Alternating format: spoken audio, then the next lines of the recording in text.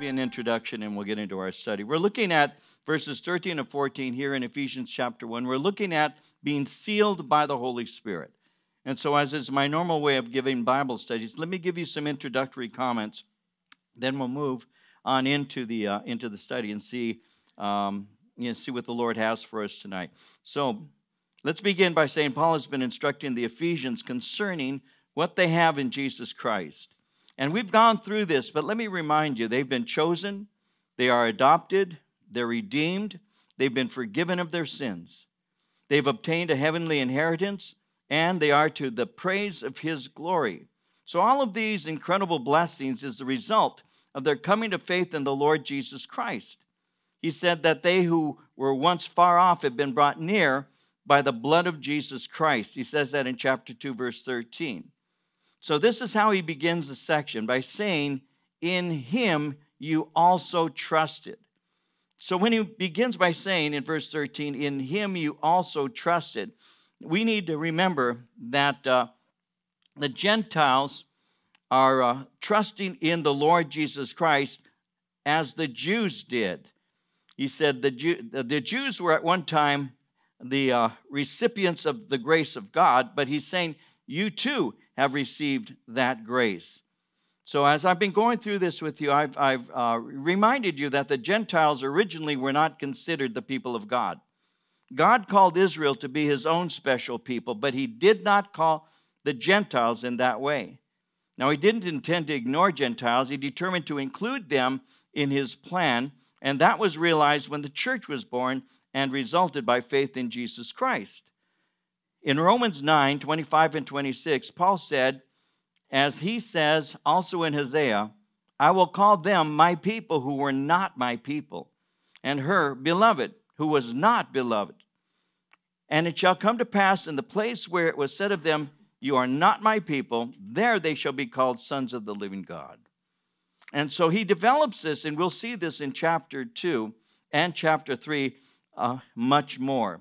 But he's speaking concerning how these Ephesians, who are Gentiles, have entered into the kingdom of God through faith in the Lord Jesus Christ. And that's what he says in verse 13. Notice he says that they had trusted in Jesus after hearing the word of truth.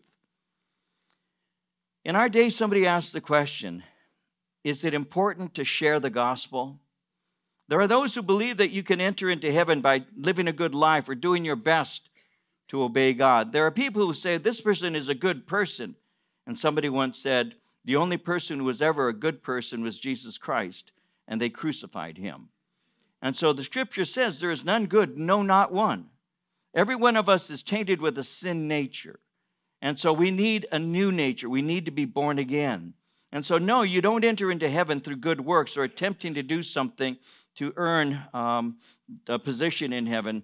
You, you don't enter into heaven by trying your best to obey God. And, and Paul has made it clear that that doesn't happen because you can't work your way into heaven.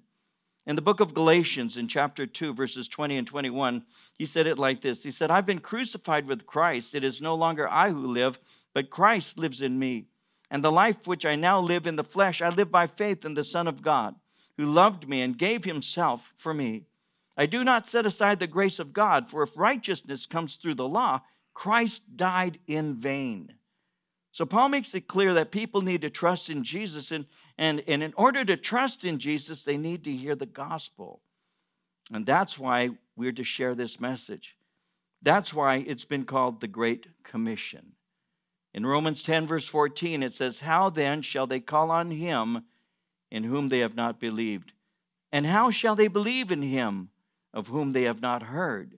And how shall they hear without a preacher? And so it's our calling as believers to take this message out. So, yes, it is important to proclaim the gospel. You see, these Gentiles have been saved because they heard the gospel and trusted in Christ. Notice here that the gospel is referred to as the word of truth. Now, in various places, God's word is spoken of as word of truth. For example, Psalm 119, verse 160, where the psalmist said, The entirety of your word is truth, and every one of your righteous judgments endures forever. Or in the New Testament, 2 Timothy chapter 2, verse 15, where Paul said, Do your best to present yourself to God as one approved a worker who does not need to be ashamed, and who correctly handles the word of truth. And James in chapter 1, verse 18 says it like this He chose to give us birth through the word of truth, that we might be a kind of first fruits of all he created. Now, when he speaks here in this verse of the word of truth, it's called the word of truth because it's the message of reality. It's something you can trust. And that in trusting will result in an entirely new way of life. In John 17, verse 17, Jesus said it like this Sanctify them by your truth. Your word is truth. That's where the transformation comes from. It's by embracing God's word that declares to you God's Savior, Jesus Christ, and God's promises that He gives to us by His word. And when you embrace His word by faith, you can do that because it's true. It's not a, a word of I hope or maybe or perhaps. It's a word of truth. And we as believers present the gospel in that way. So he says in verse 13, You heard the word of truth. He calls it the gospel of your salvation. So the gospel of truth has informed you concerning the one who is truth. What is it that Jesus said of himself? I am the way, the truth, and the life. And so the gospel presents to us that one who is truth. And so this word of truth is, in fact, the gospel, and it's the gospel of salvation. He's saying, You heard the word as it revealed the God of salvation, and as it revealed the God of salvation, you also trusted in him because you trusted that the message was true. You believed in the one revealed in the gospel. That's how you were saved. It revealed to you that God sent Jesus to save you and you believed. In Acts chapter 4, verse 12, we read, Neither is there salvation in any other, for there is no, no other name under heaven given among men whereby we must be saved. It's the gospel of truth that we present where we say God was in Christ, took upon himself the sin of the world, died on a cross, was buried, but the third day rose again from the dead. Forty days later, he ascended into heaven. He sits at the right hand of the Father, and from there, he's going to return and to take us to be with Him. This is the message of the gospel and the good things, the good news that we find within that message. And notice he says in verse 13, again, he says, In whom you also, having believed, he said, you were sealed with the Holy Spirit of promise. You were sealed with the Holy Spirit of promise. So we're going to be looking today at the sealing of the Holy Spirit. So he's saying, when you believe the message, when you trusted in Christ, God sent you His Holy Spirit. Now, all of us know this, but let me say it. There, there is a difference, and this is the difference between having a religious faith and being born again. To have a religious faith doesn't require a person to be a believer. You might find that interesting, but it's true. The religious faith may simply be a code of life that's built on religious principles. And so they speak concerning themselves as having a religious faith, but in fact, what they have is a belief in certain principles or things that they hold fast to and agree with others that this must be true. But that's not necessarily uh, um, saving faith. It simply means that you agree on certain things, that these things may very well be so. But to be a Christian requires a person to be born again, and you're born again by the Spirit of God. And when you receive Christ as your Lord and Savior, the Bible says that your body actually becomes God's temple. It's interesting. I was sharing this the other day someplace else where I was pointing out that in the days of Israel, when Israel was called by God to be separate from the world around, around them, the world around Israel during that day was filled with idolatry.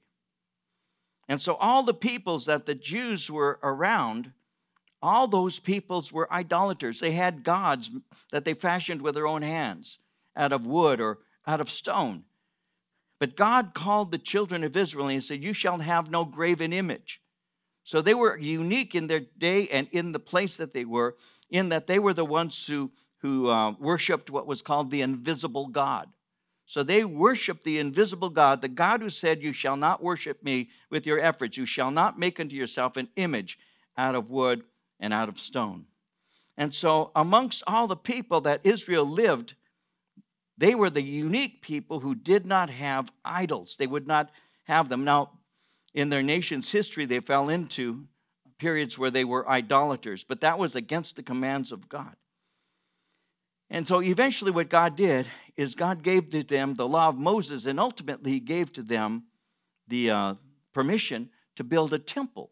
We know that King David wanted to build a temple, but God wouldn't allow him to because he was a man of war. His, his hands were bloody. And so he said, It's good in your, that you had in your heart the desire to build me a temple, but I never asked you to do that. Have I ever said to you, I want a temple? No, it's good that it's in your heart, but I never requested or commanded that of you. And because you're a warrior, David, you're not the proper one to build this temple. So, what I'm going to do is, I will have a temple built for me, yes, but it's going to come through Solomon, your son.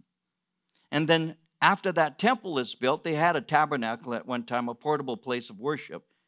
After that temple had been built, the, the nation of Israel would assemble. The um, males of a certain age, over 20, would come. They were required three times a year to come and to worship in that temple, if at all possible. So the Jews would come to the temple. And they kept coming to the temple from the time of Solomon all the way to the time of Christ. So during the time of Christ, what happens is Jesus takes upon himself human flesh. God dwells amongst men, and God, Jesus Christ, God in the flesh, brings the message of the gospel, ultimately dies on a cross. He's buried, ascends in, uh, to heaven after resurrection.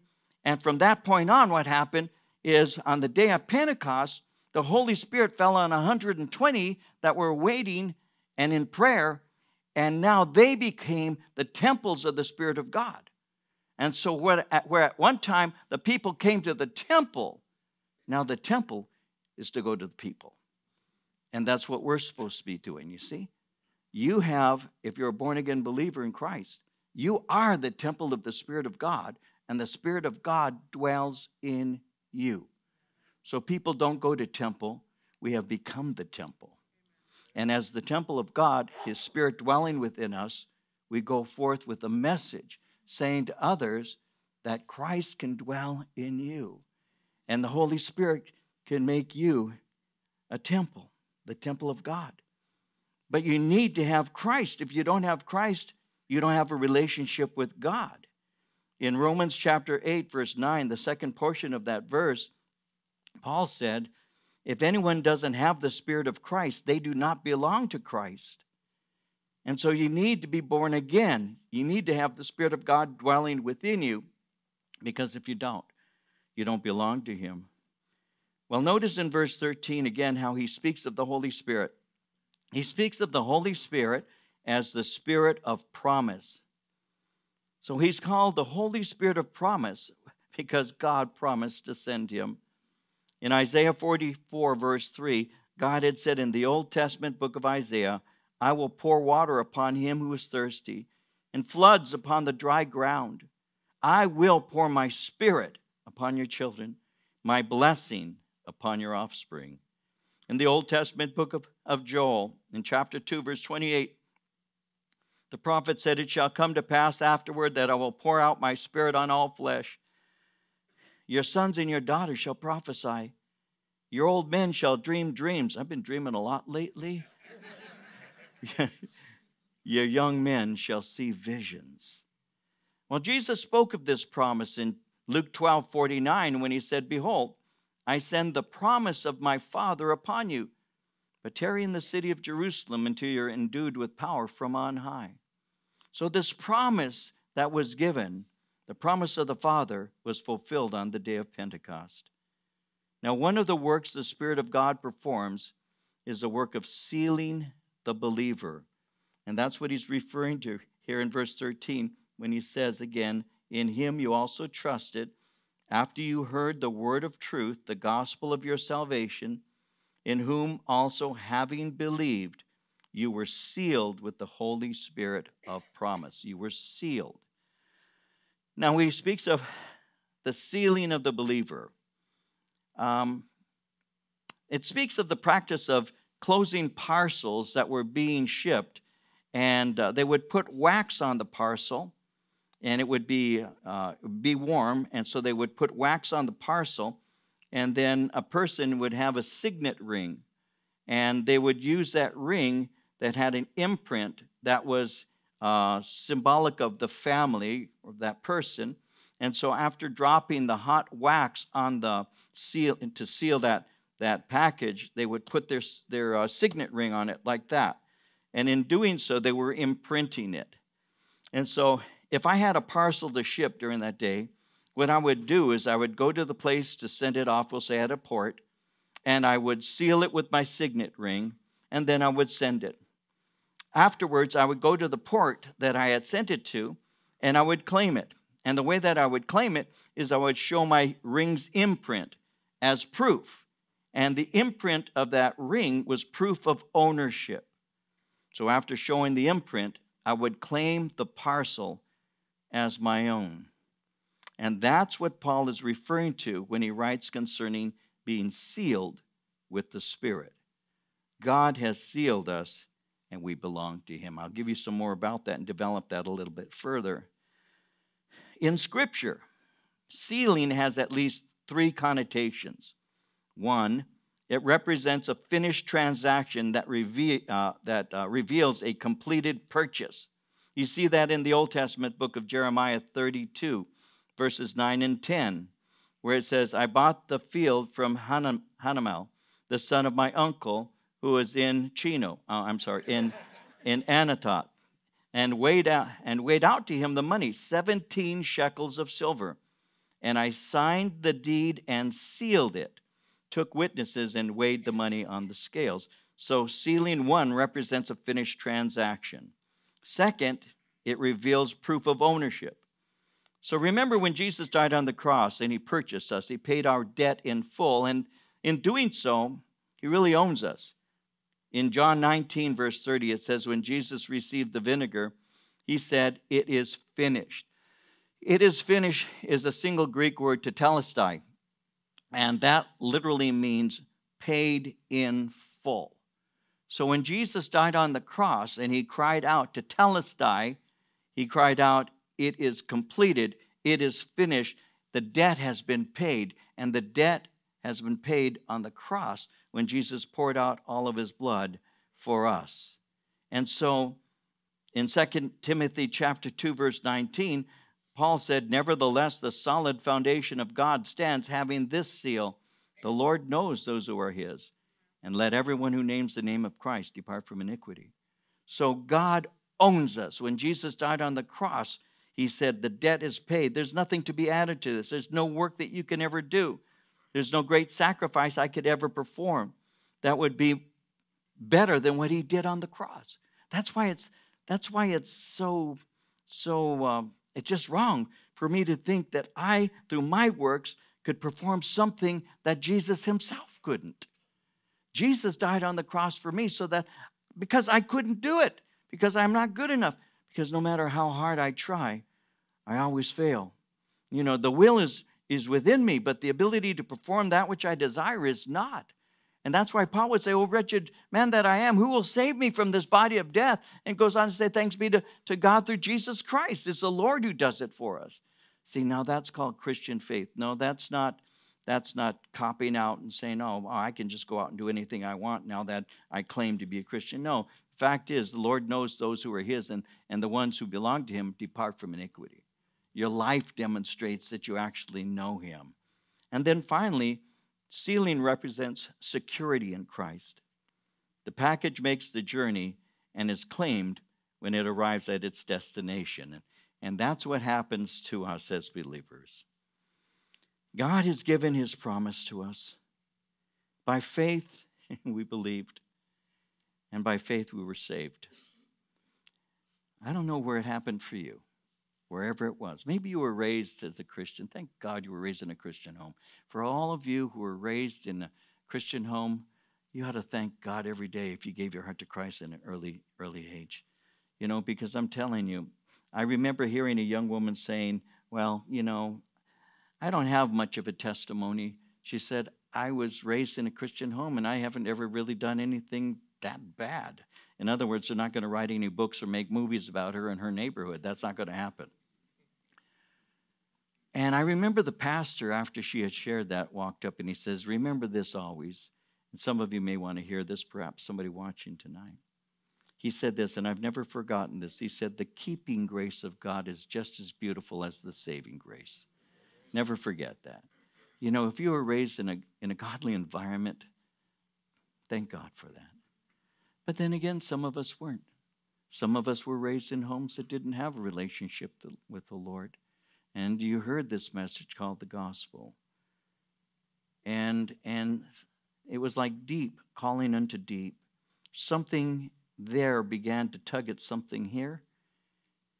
And you may not have understood every single thing that you were hearing at that time, but you did know something. You did know you were lost. You did know you had sin. You did know that you were going to go to hell. But you also did know that there is a God who said he could save you. And I don't know how you came to faith in Christ, whether it was again at home, whether it was in a church service, maybe it was listening to a, message on the radio. You came to faith. God brought you to, to faith in Him. Years ago, I went to New York, and while I was in New York doing a radio rally in upstate New York, outside of Rochester, in a place called the Finger Lakes, after the study, I had walked down to the front, was just visiting with people, those who were listening to us on the radio and all. And a guy walks up to me and he says to me, he goes, I want to talk to you for a moment. And I said, Of course. He goes, I want you to know that, he said, I was driving. And as I was driving, he said, because that's what I do for my job, I'm a salesman and I go from place to place, call to call. He said, I was, you know, just going through the radio and, and I fell upon this station and, and I heard this guy talking and I thought it was a talk show. He said, I thought it was a talk show.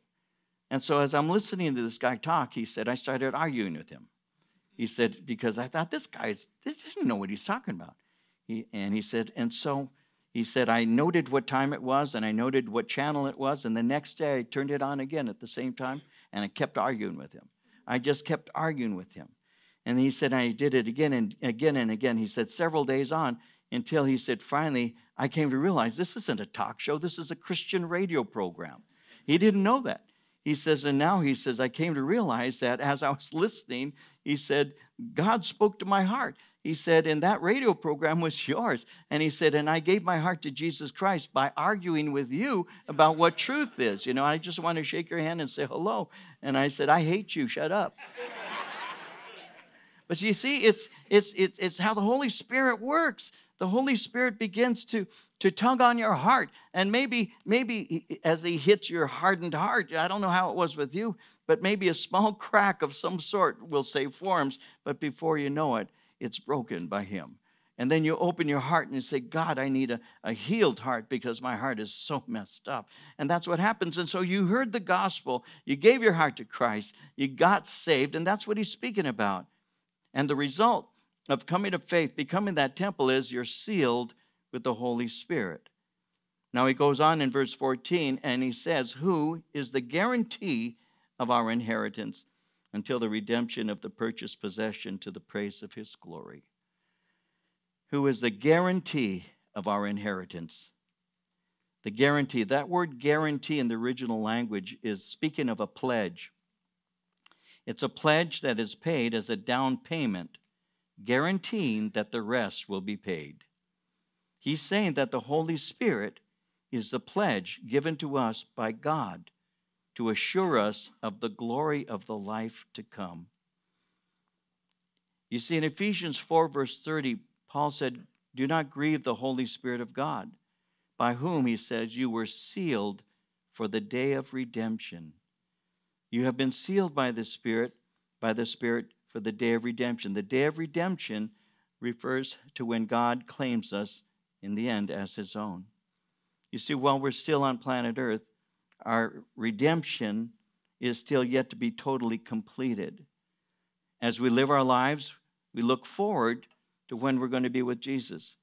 And in Romans 8:23, Paul said it like this. He said, "Not only the creation, but we ourselves who, who have the first fruits of the Spirit groan inwardly as we await eagerly for adoption as sons, the redemption of our bodies." So there's still a process taking place that is going to be completed in the yet future. So the sealing of the Spirit marks us as belonging to God. It's our guarantee.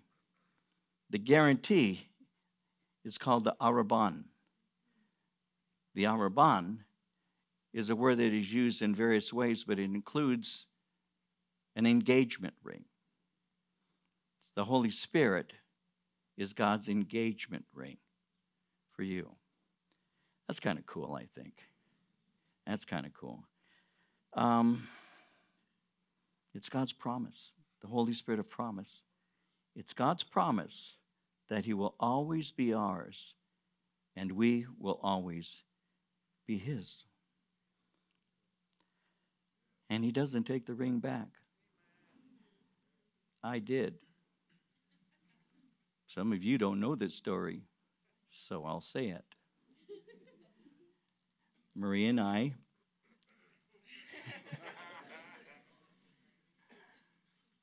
I asked uh, Marie to marry me, and uh,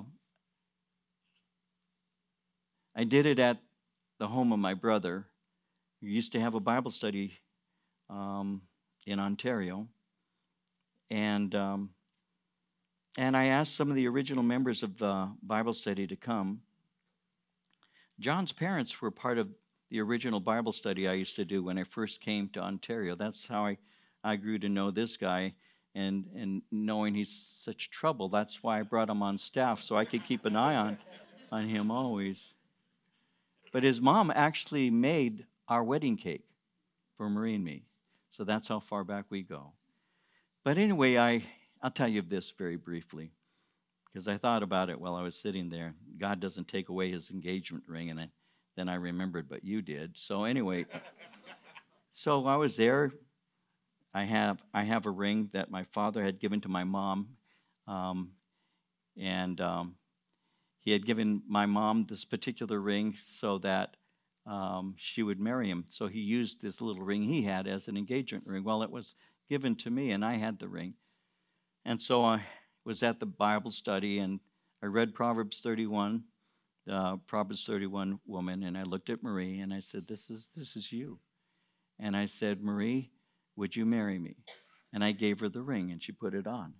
And then I went out and bought a, a wedding band and an engagement ring, and cost me two hundred dollars.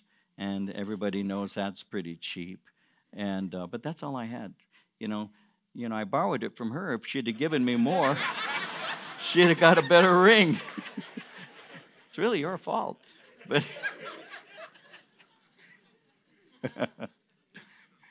So she wore that ring for several months. But I was going to college, I was doing so many things, and and before you know it, it felt like like it was just unfair to to keep her waiting. And I still remember um, sitting in a car with her and looking at her, and I said, you know, Marie, I said it's not fair that I should not, um, you know, that we we haven't gotten married. I said I. I said, I'm going to have to take the ring back. And I did. I took it back. And she handed me my engagement ring back. And I put it in my pocket and I said, The next time I give you this ring, we'll get married. And so I gave it to her the next week. And we didn't have a big wedding. We had a backyard wedding because I just said, You know what? It's time to pull the trigger. And that's what we did. You know, we just got married in my parents' backyard, and the rest is history. They said it would never last, but it did. but it did. Well, God doesn't take his engagement ring back, okay? That's the whole point of the story. God doesn't take his ring back. He gave it and he promised it uh, to us, and it's the Holy Spirit. So God himself is the one who seals us. In Second Corinthians chapter 1, verses 21 and 22, it says, He who establishes us with you in Christ and has anointed us is God, who has also sealed us and given us the earnest of the Spirit in our hearts. Now, notice again here in verse 14 that Paul once more emphasizes that this is all to the praise of his glory. You see, that's what salvation is all about bringing praise and glory to God. You see, the Holy Spirit is the guarantee of coming glory with God. The Spirit is a pledge given to assure believers of the glory of the life to come. And the Holy Spirit is intended to awaken us to the fact that this promise is true. It's not a dream. In 1 John 4:13, we know that we live in him and he in us because he's given us of his spirit. In Romans 8:16, the Spirit himself testifies with our spirit that we are God's children. There are times that you might begin to argue with yourself, I'm not quite sure whether I'm saved. But you know what? The Holy Spirit within begins to actually awaken you to the reality that you are. No, you're not perfect yet. You're not. I am. No, you're not perfect yet. You're not. But you know what, man? Sometimes your heart can condemn you because you see somebody and you say, I'm not like that. Or how come they seem to have more joy than I do? Or God, it seems that their prayers are answered where, where mine just go as, as high as the ceiling and they seem to fall upon the, the earth unheard. I, I don't know. And, and your heart begins to, to question. Well, well, John says if our heart condemns us, God is greater than our heart. He knows all things. When the Holy Spirit, when the Lord sealed you, the Holy Spirit of God is within you, there's a sense that I belong to Him. And, and uh, I may not know everything, and I don't, and I may not be what I want to be, and I'm not, but I'm not what I used to be, and I'm knowing more now than I ever did. And that's what growing in Christ is. That's what growing in the grace of God and the knowledge of God is. So don't beat yourself up. Don't constantly condemn yourself. God knows your heart. It's desperately wicked, by the way. He knows your heart, but He's greater than it. And His grace is greater. No matter how far you go, His hand will go even lower to lift you out of the miry clay. Never forget that. Never forget that. And there have been times, some of you perhaps, I have awakened saying, How could I have been that? How could I have done that? How could I? I was in, in Mexico. I was a couple of years old in the Lord. I'd just gotten out of the military. I went with some friends on Cinco de Mayo, and we're somewhere in Mexico for a three day binge. I mean, we drank so much tequila and so much beer. It's a lost weekend. And I remember coming home, and it was a Sunday, and my sister Madeline was seated across from me at the dinner table at my parents' house. She said, "Do you have a good time this weekend?" Oh, Madeline, we had a great time. And I started telling her the craziness that we had been involved in there in, in Tijuana, Ensenada, actually. The craziness. She said, Did you have a good time? I said, I had a great time. I had a great time. Then I stopped for a moment. It's 23 years old. I stopped for a moment and I started to weep. I said, I had a lousy time. I said, Madeline, I have drifted away from Jesus. I can't take this anymore. And I cried. And she and I got in my car. We drove to church that night. And uh, there was an evangelist at the church, and he gave an invitation. And he said, There are some of you who are backslidden, and you know God is calling you back. You know it. And if you're that one, I'm speaking to stand to your feet. And I stood to my feet on that day. I still remember I stood to my feet and I said, Yes, God.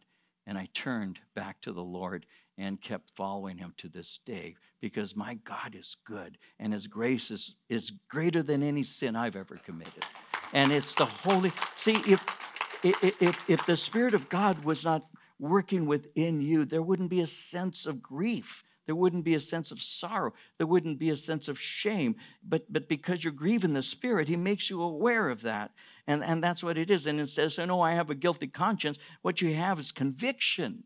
And the Holy Spirit is convicting you, and He's saying, No, this is not what I created you for. You're better than this. I made you in the image of my Son. You're better than this. I can do things. You need to yield to me. So that Holy Spirit of God has sealed us until the day of redemption. And it awakens us to the fact that we belong to God, like it says again in Romans 8 16. The Spirit Himself testifies with our spirit, we are God's children. And so He concludes by saying, This is all to the praise of his glory here in verse 14. So, final thoughts. One, we are the purchased possession. In 1 Corinthians chapter 7, verse 23, you were bought at a price. Do not become slaves of men. And second, the work of Christ's redemption will be concluded when we are resurrected. In Romans 8:23, not only so, but we ourselves who have the first fruits of the Spirit groan inwardly as we wait eagerly for our adoption as sons, the redemption of our bodies. And third, this work is intended to be to the praise of his glory. And this is what salvation is all about glorifying God. My pastor Chuck, and I'll close with this illustration, the story he gave. I heard it so many years ago, but it touched my heart. Some of us grew up with different little fables and stories. Well, he took a particular story and changed it a bit about the gingerbread, the gingerbread man. I don't know how many people here have ever even heard the story of the gingerbread man, where a, baker, a baker made a gingerbread man. It's a story. And as he made the gingerbread man, the story goes, the gingerbread man actually came to life and the gingerbread man ran out the door and ran down the street. Run, run, run as fast as you can. You can't catch me. I'm the gingerbread man. You remember that? And so here goes the old man running down the street to get the gingerbread man. And finally, he catches up to the gingerbread man. And uh, Chuck's version of the story was, and he took him and he says, I made you. You ran from me. I chased you. I caught you you belong to me. Well, that's us, isn't it? Run, run, run just as fast as you can. Well, he can catch you. You're not the gingerbread man. but that's what the hound of heaven does. The Holy Spirit pursues you to the darkest corners, to the lowest places, and the Holy Spirit pursues you. And there you are by yourself, weeping, alone, rejected, sorrowful, hurt. And he says, Okay, are you ready? Are you ready to come home? And then you look up and you say, But look what I've done. And God says, I can make all things new. I can make all things new. Don't you know that the one who's in Christ is a new creation? Old things are passed away. Behold, all things are become new. Don't you know that? My Holy Spirit, God says through His Word, has sealed you unto the day of redemption. It's a guarantee that I will be with you forever. Forever. You are the temple of the Spirit of God, and the Spirit of God dwells in you. So, as children of the Most High, may we live lives that give glory to Him. For again, He said, that's what salvation is all about. In Psalm 86 12, I will praise you, O Lord my God, with all my heart, and I will glorify your name forevermore. Father, we ask that you would